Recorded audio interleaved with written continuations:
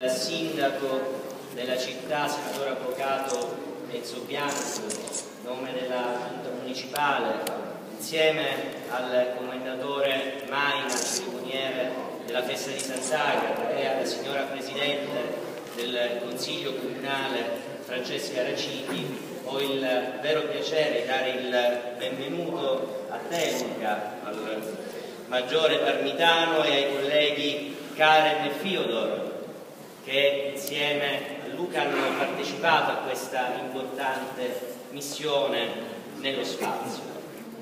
In occasione della festa di Sant'Agata di quest'anno il sindaco Enzo Bianco insieme al cerimoniere hanno ritenuto eh, opportuno, in sintonia con il volere dei cittadini catanesi, conferire il più importante premio il più importante riconoscimento che è la Candelora d'Oro a un personaggio per noi importante, che è Luca, il primo astronauta italiano che ha svolto attività extra veicolari durante una missione spaziale, italiano, siciliano e catanese di adozione, quindi a maggior ragione per noi è importante conferire a te, Luca, questo importante premio, che idealmente ti è stato dato in occasione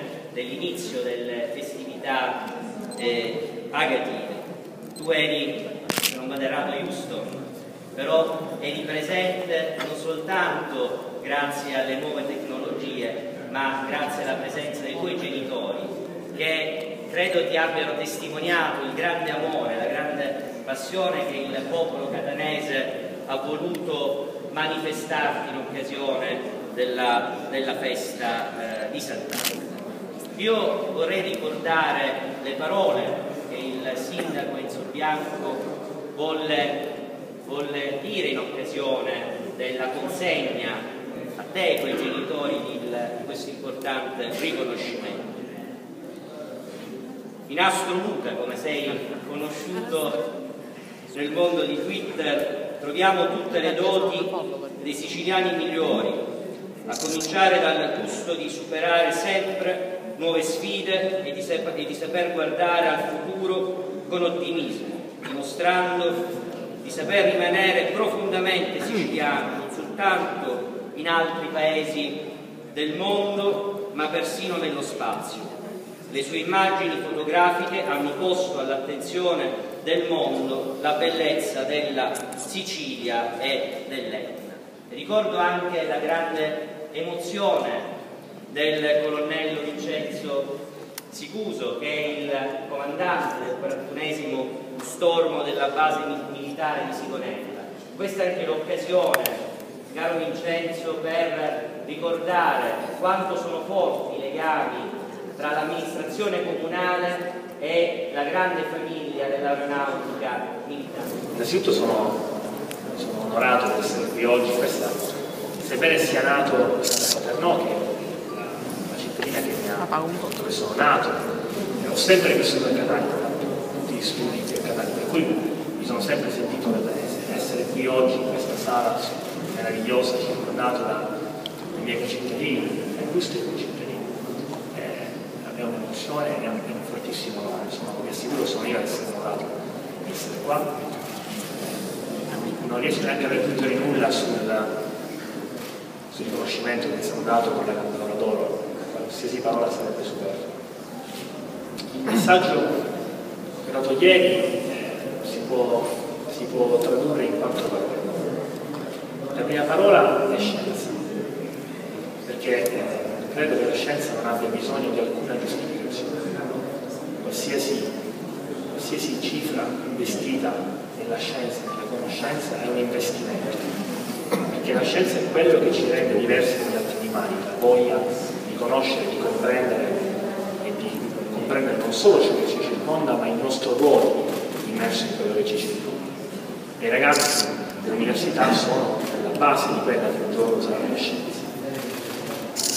Noi come agenzie spaziali, parlo dell'Agenzia Spaziale Italiana chiaramente, che mi ha dato l'opportunità di volo, parlo dell'Agenzia Spaziale Europea, faccio parte come corpo astronautico. Noi siamo, eh, siamo immersi nella scienza, in una scienza che ingloba tutto, perché in orbita abbiamo eseguito durante il incremento oltre 200 esperimenti di, tutti, di tutte le branche della scienza, dalla, dalla, tecnologia dei materiali, dalla fisica dei fluidi, passando dalla fisica dei fluidi. La seconda parola che utilizzerei è tecnologia. La tecnologia è una conseguenza della scienza perché è quello che ci fa evolvere. La tecnologia che a volte viene un po' eh, viene puntato il dito per dire che ci cambia le vite in peggio, è soltanto perché noi dobbiamo adattarci agli sviluppi tecnologici e vogliamo, a volte siamo refrattari ai cambiamenti. È inutile negare che i social media di cui siamo circondati oggi hanno cambiato il stile di vita, ma ci hanno anche aiutato. Un giorno non penseremo neanche più a cosa abbiamo perso, ma penseremo a quello che abbiamo guadagnato. Bene, la, la tecnologia della scelta, della tecnologia spaziale è la punta massima dell'espressione tecnologica italiana ed europea e vi spiego anche perché. Il 40% del volume abitabile della Stazione Spaziale Internazionale è stato costruito in Italia, mentre in orbita due astronavi cargo che sono giunte in orbita, si sono agganciate alla stazione, avevano il modulo pressurizzato costruito in Italia. In quel momento più del 50% del volume abitativo della stazione era italiano e più c'era un italiano a bordo che ha catturato una delle astronavi. Una presenza straordinaria che nessun altro paese al mondo può vantare, solo l'Italia. Quindi un'espressione straordinaria di tecnologia e di industria aerospaziale di cui dobbiamo essere orgogliosi e che purtroppo è poco conosciuta. Questa è colpa nostra, se ne parliamo abbastanza. La terza parola che ho utilizzato è l'esplorazione. L'esplorazione è forse l'istinto più forte degli uomini, il genere di Ulisse che ci fa guardare un orizzonte e ci, e ci fa desiderare di superare quell'orizzonte alla ricerca del prossimo orizzonte. Eh, non riesco a immaginare un orizzonte più infinito, insuperabile, intrigante, affascinante di quello, di quello spaziale. Quindi e credo che le, quel senso di, di, di, infinito che noi cerchiamo come uomini sia proprio in quella direzione. L'ultima parola che ho utilizzato era dedicata proprio al pubblico che avevo di fronte ieri, ma anche oggi, ed è la parola futuro. Noi come scienza spaziale, come agenzie, siamo sicuramente indirizzati al futuro, ma in quel momento pensavo un'altra cosa, guardavo negli occhi il, futuro proprio seduto di fronte a me, gli occhi dei ragazzi. I ragazzi giovani sono il nostro futuro.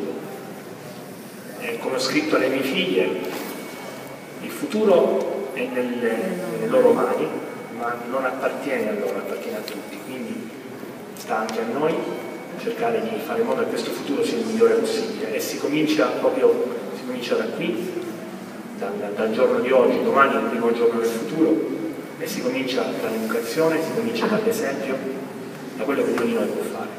E questo è quello che ho detto ieri. Grazie.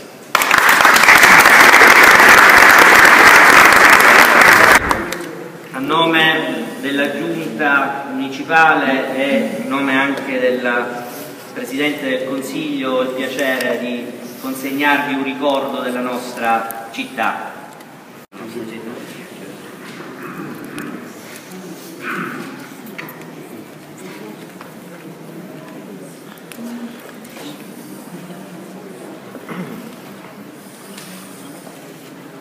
Luca la conosci bene la città, però esatto. portala nel mondo esatto. e nello spazio.